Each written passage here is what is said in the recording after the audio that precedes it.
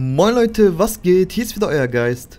Heute in diesem Video möchte ich euch zeigen, wie ihr ganz easy Mog Fürst des Blutes besiegen könnt und seinen Sperr bekommen könnt, Leute. Jedoch braucht ihr hierfür ein Item und zwar Mogs Kette und hier zeige ich euch erstmal, wo ihr die Kette bekommt. Und zwar müsst ihr hier zu den Katakomben von Lionel.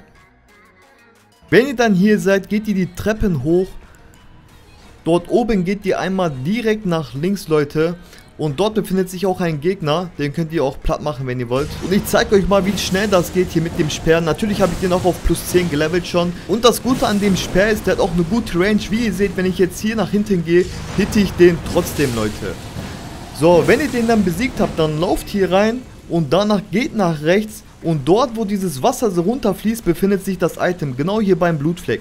Bei mir ist es jetzt nicht da, Leute, aber falls ihr das noch nicht aufgehoben habt, dann wird da auf jeden Fall das Item am Blutfleck sein. Ich zeige euch das Item nochmal und zwar ist das hier Mox Kette. So Leute, wenn ihr dann beim Bossfight seid, stellt euch hier an die Nebelwand, benutzt das Teil dreimal seine Kette, danach wartet ein paar Sekunden bevor ihr in den Bossfight reingeht, weil die Kette muss erst wirken und nach ein paar Sekunden könnt ihr dann in den Raum reingehen und ihr werdet sehen, dass der Boss eingefroren ist. Jetzt könnt ihr einfach vor ihn gehen und ihn schlagen, aber ihr müsst aufpassen Leute, ihr dürft ihn nicht staggern, das heißt er darf nicht in die Knie fallen, diese Animation darf nicht kommen.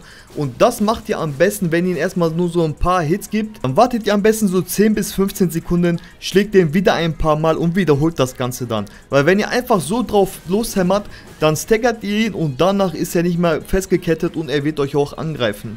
Und wenn ihr ihn dann besiegt habt, Leute, dann bekommt ihr seine Rune und sein Echo. Hiermit könnt ihr jetzt zur Tafel der Gnade gehen, zu der süßen Frau hier nach oben und mit seinem Echo könnt ihr euch dann seinen Sperr holen.